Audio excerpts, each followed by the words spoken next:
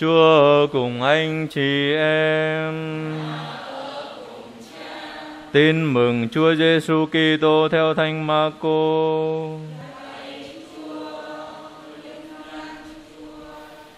Khi ấy Đức Giêsu lên núi và gọi những kẻ người muốn, các ông đến với người. Người lập nhóm 12 để các ông ở với người và để người sai các ông đi rào giảng. Với quyền trừ quỹ, người lập nhóm 12 gồm có ông Simon, người đặt tên là Phêrô, ông Giacôbê, con ông Zebede và ông Gioan em ông Giacôbê, người đặt tên cho hai anh em là Boanege nghĩa là con của th- thiên lôi. Rồi đến các ông Anne, Andre, Philippe, Bartolomeo, Matthew, Thomas, Jacobe, con ông Anphe, Tadeo, Simon thuộc nhóm nhiệt thành và Judas Iscariot là chính kẻ nộp người. Đó là lời Chúa.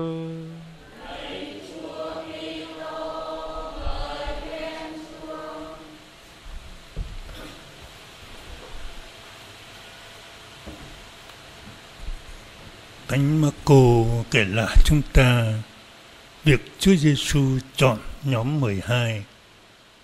Trước hết, người lên núi.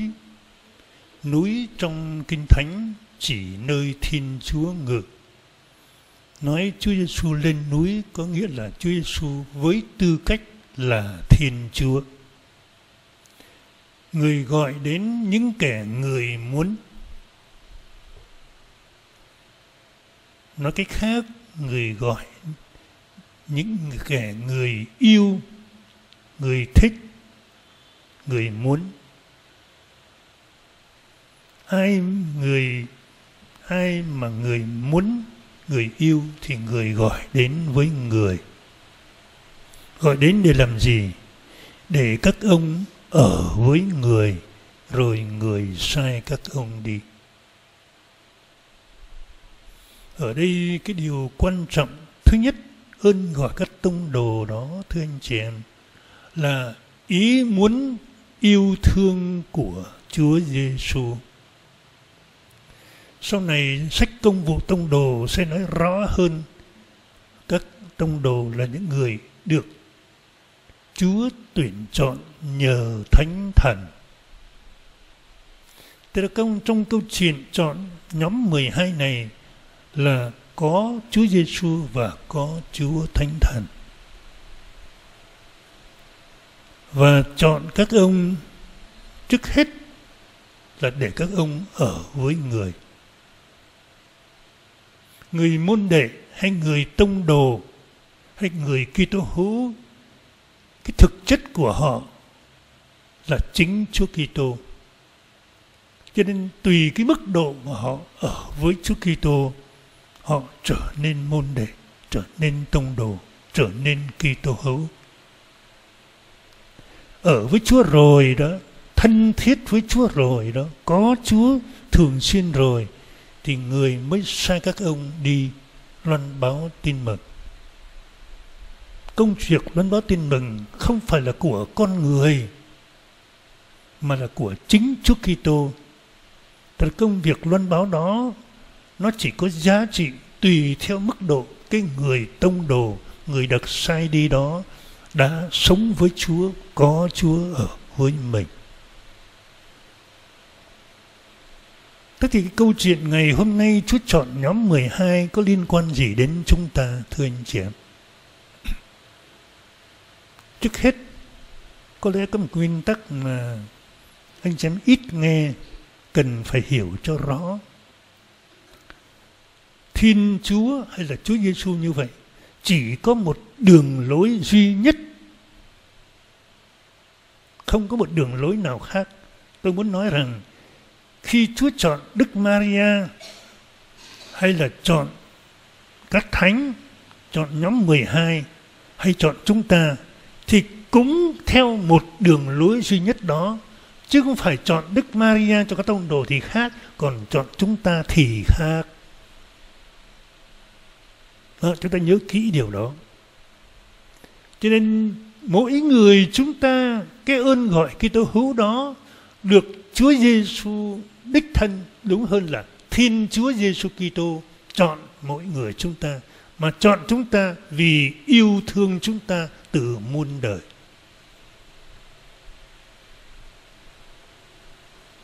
Có bao giờ anh chị em nghĩ tới cái ơn gọi của mình chưa? Có lẽ ít khi lắm. Tại sao?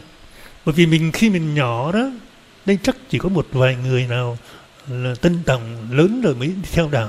Còn hầu hết chúng ta được rửa tội từ nhỏ. Đâu có biết gì đâu.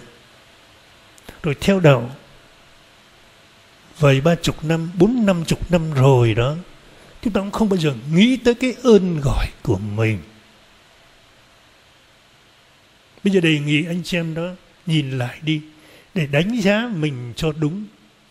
Đánh giá mình như Thiên Chúa đánh giá về mình. Tôi được Thiên Chúa yêu thương từ muôn đời. Được Thiên Chúa tuyển chọn trong Chúa Giêsu Kitô và Chúa Giêsu Kitô đích thân gọi tên tôi, chọn tôi vì người yêu thương tôi. Chúng ta không tầm thường như chúng ta tưởng đâu. Dù là nhỏ bé, dù là rốt nát quê mùa, dù là già yếu bệnh tật chẳng có khả năng gì. Cái đó không quan trọng gì. Bởi vì điều quan trọng đáng kể nhất là Chúa Giêsu đã yêu thương tôi từ muôn đời và đã kêu tên tôi, đã chọn tôi. Khi những người được chọn rồi thì sao? Họ đáp lại tiếng gọi của Chúa, đến với Chúa Giêsu. Chúng ta nhớ rằng cái đức tin của một người Kitô hữu có hai phần. Phần thứ nhất là do nơi Thiên Chúa ban ơn, ban không. Nhưng mà con người có tự do ý thức và đáp lại. Dù được Chúa tuyển chọn, kêu gọi, nhưng chúng ta phải đến với Chúa Giêsu, tức là phải đáp lại tình yêu của người. Ý thức Chúa gọi mình rồi, thì chúng ta phải sẵn sàng đáp lại.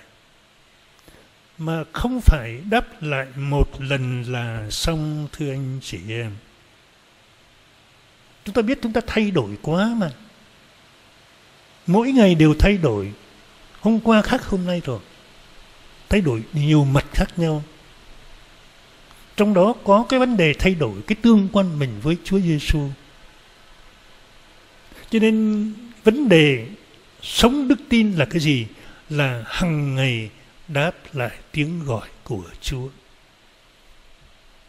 Chúa Giêsu vẫn lên tiếng trong cuộc đời chúng ta. Chúa Giêsu vẫn lên tiếng khi chúng ta đi lễ rước lễ đọc kinh.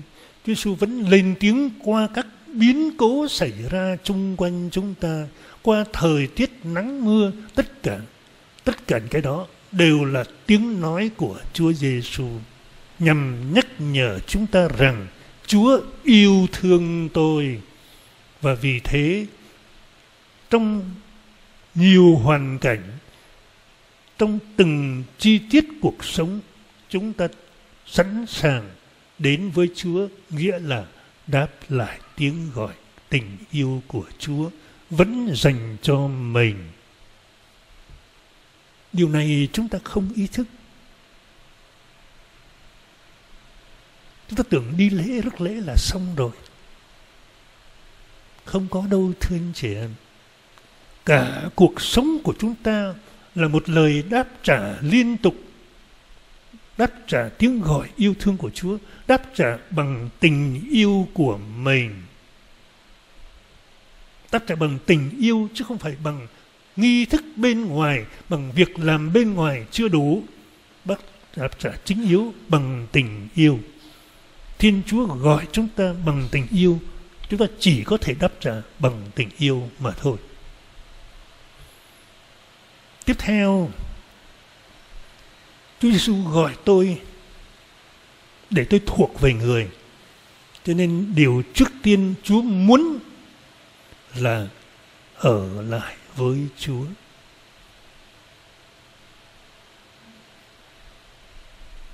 tôi ở lại với Chúa để đón nhận tình yêu của Chúa và ở lại với Chúa để đáp lại tình yêu của Chúa.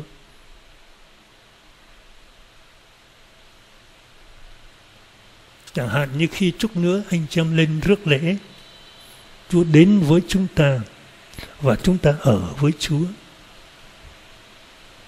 Mà rước lễ xong anh em ở với Chúa được mấy phút, mỗi người nghĩ xem, một hai phút thôi một hai phút thôi. Cái đó đâu gọi là ở lại chứ, đó là ghé qua thôi.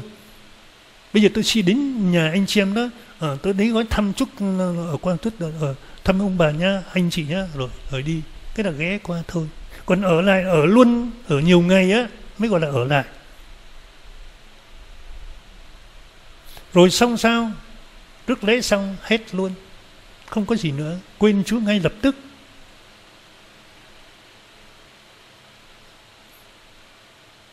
Chúng ta nhớ kỹ, chúng ta được kêu gọi. Chúng ta mang danh Kitô hữu là trước hết và quan trọng nhất là ở với Chúa Giêsu Kitô, ở lại với Chúa Giêsu, thường xuyên liên tục.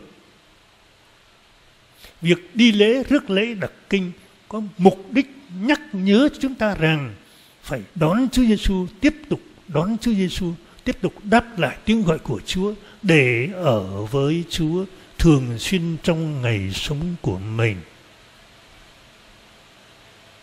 Chúng ta quên điều đó. Rất nhiều người quên. Họ chỉ ở lại với Chúa lúc đọc kinh đi lễ thôi. Ngoài ra thôi, không còn gì nữa. Không lẽ lúc này tôi là Kitô hữu đến lúc khác ra khỏi nhà thờ tôi không phải là Kitô hữu nữa sao? Lúc này tôi sống đức tin ra khỏi nhà thờ tôi không sống đức tin nữa à? Lúc nào tôi cũng là Kitô hữu. Lúc nào tôi cũng thuộc về Chúa Kitô. Lúc nào tôi cũng phải ở ở trong Chúa Kitô. Ở với Chúa Kitô rồi đó. Rồi lúc đó Chúa mới sai tôi đi. Chúa không có sai một cách rõ rệt đâu, thưa anh chị em. Chẳng hạn khi tôi đến thăm người này, gặp người kia hay người khác đến gặp gỡ tôi, đó là lúc mà Chúa sai tôi đi. Tôi không cần nói nhiều, không phải cần phải giảng dạy như các linh mục. Tôi chỉ ý thức rằng tôi đang gặp gỡ người này với Chúa Kitô. Ý thức rằng tôi Chúa Kitô đang dùng tôi để nói chuyện, để giao tiếp với người này. Đó là được sai đi đó để loan báo tin mừng, loan báo Chúa Kitô cho người ta. Nhưng cái cái bước mà gọi là bước ở lại nó nó quan trọng, nó quyết định hết. Nên phần lớn những cuộc giao tiếp của chúng ta gặp gỡ chúng ta không có Chúa. Không có Chúa ở chỗ nào là chúng ta gặp gỡ theo một cách tự nhiên hoàn toàn. Quen nhau, gặp gỡ, nói chuyện vui vẻ các cái thôi. Người lạ thì mình chào hỏi, vậy thôi, nhưng không có gì hết cả, có thế thôi.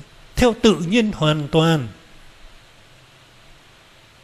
Như vậy cho thấy rằng chúng ta chưa ở lại với Chúa Kitô.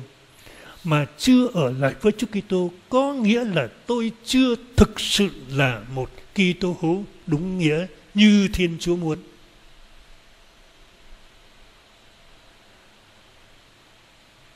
Tôi chưa phải là một Kitô hữu đúng như Thiên Chúa muốn. Anh em đừng lầm tưởng rằng cứ đi lễ rước lễ đọc kinh thì đã là thực sự là Kitô hữu, không phải đâu. Không phải đâu. Đi lễ rước lễ đọc kinh là để nhắc cho mình để ở với Chúa Kitô thường xuyên và tùy cái mức độ mà chúng ta ở với Chúa Kitô thường xuyên liên tục đó, chúng ta trở thành Kitô hữu và đồng thời cũng trở thành người được loan báo tin mừng vì loan báo bằng chính con người của chúng ta, hay đúng hơn là Chúa Kitô tiếp tục loan báo tin mừng qua con người cuộc sống của chúng ta, qua những giao tiếp của chúng ta.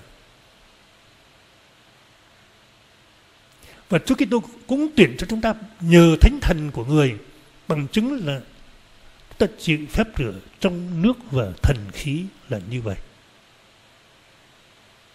Chúng ta đâu có thua gì các tông đồ. Vì chính Chúa Kitô cũng yêu các tông đồ như yêu chúng ta. Chính Chúa Kitô cũng tuyển chọn chúng ta như tuyển cho các tông đồ. Và Chúa cũng yêu quý chúng ta như yêu quý các tông đồ. và chúa cũng chờ đợi chúng ta ở với Chúa như các tông đồ đã ở với Chúa. Vì thế thưa anh chị em cần nhìn lại ơn gọi Kitô hữu của mình, ơn gọi lớn lao, cao quý, cao quý hơn tất cả mọi cái gì khác ở đời này. Tôi được Chúa, Thiên Chúa nghĩ tới tôi từ đời đời, được Thiên Chúa yêu tôi, thương tôi từ đời đời, được Thiên Chúa trao ban con một cho là Chúa Giêsu Kitô cho tôi để người con một đó là Chúa Giêsu ở với tôi luôn luôn mọi giây phút, mọi ngày cho đến tận thế. Vì thế sống đời Kitô hữu có nghĩa là ý thức mình được Thiên Chúa yêu thương mà tình yêu Thiên Chúa thể hiện ra bằng con người bằng xương bằng thịt bằng chính Chúa Giêsu Kitô. Chúa Giêsu Kitô là tình yêu bằng xương bằng thịt của Thiên Chúa. Tình yêu cụ thể đó, sống đời Kitô hữu là sống Chúa Kitô nơi bản thân của mình, trong cuộc sống của mình, qua những giao tiếp của mình. Hãy nhớ lại, hãy ngồi mà nghĩ lại ơn gọi của mình và đồng thời ơn gọi đó là kêu gọi chúng ta Thiên Chúa kêu gọi chúng ta trong Chúa Giêsu Kitô để chúng ta nên một với Chúa Giêsu Kitô để chúng ta ở lại trong Chúa Kitô để chúng ta sống với Chúa Kitô và để cuộc sống chúng ta đầy tràn Chúa Kitô mà loan báo tin mừng cho tất cả mọi người chung quanh.